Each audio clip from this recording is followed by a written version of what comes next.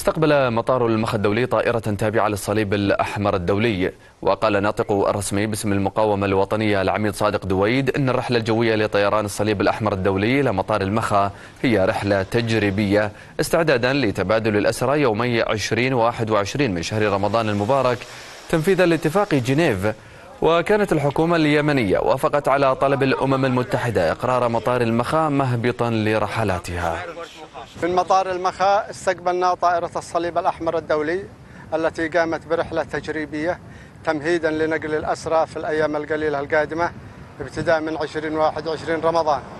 نأمل أن تتم الصفقة وأن يعود الأسرى إلى ذويهم بخير وسلام وأن تستكمل صفقة تبادل الأسرى على مبدأ الكل مقابل الكل بعد عيد الفطر المبارك إن شاء الله.